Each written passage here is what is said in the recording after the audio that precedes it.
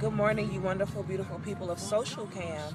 I missed last Sunday because I had to work, but no longer will I miss church on Sunday morning. So I'm starting my year off just a little late, but correct, making my way to the house of the Lord. You guys be safe, be blessed, and have church like never before. Allow God to come in and to do a new thing.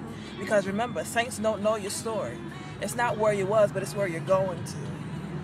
God bless you. That was a word. I didn't feel like preaching, but I felt it so strong in my spirit.